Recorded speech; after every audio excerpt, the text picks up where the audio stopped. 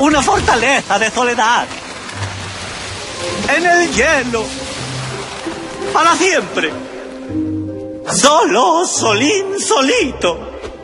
Se pasó de soledad. ¡Exactamente! sí espera.